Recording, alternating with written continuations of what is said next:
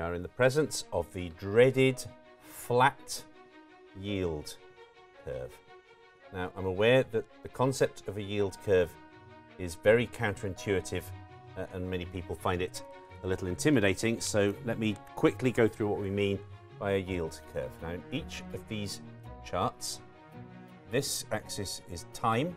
So we get further into the future as we go to the right, and this axis is the interest rate. So interest rates go up as that chart moves upwards. Now, a normally shaped yield curve is like this.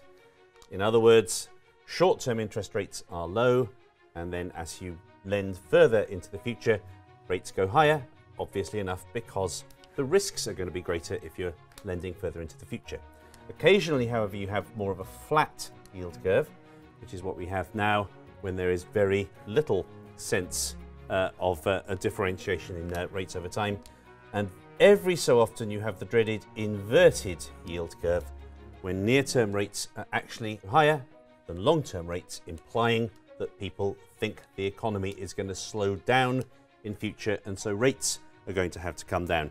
Now, if you take a look at the, the yield curve over the last 25 years, this shows you the gap between uh, uh, 10 and 2 year yields in the US Treasury market.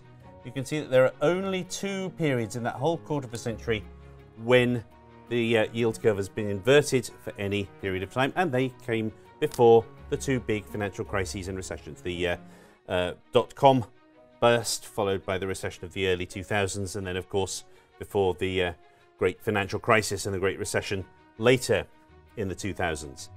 Does that mean we should be worried that the yield curve is now as flat as it's been since early 2007? It's actually below 40 basis points uh, for the first time since then, since we've heard from the, uh, the Federal Reserve earlier this week.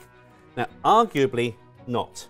If you take a look at this period here in the late 90s, which is the era of the Clinton boom and of the great bull market in stocks that came uh, before the dot-com bubble, you can see that the uh, yield curve was pretty much as flat as it is now for several years. That didn't stop people making an awful lot of money in the stock market and doing very well in the economy. But I do think there is still reason for concern. If you take a look at the way the curve has moved in the last three or four years, there is an inexorable, steady move downwards, a, a flattening of the curve. And ultimately, I think that is because the uh, investors are still ultimately preoccupied by the Fed. If the yield curve is flattening, that means that you think that the Fed is more likely to make a hawkish mistake, raise rates too much in the near future, and then have to reverse course soon after. That, particularly after we heard from the Fed earlier this week, is why people are as worried as they are about a flat yield curve.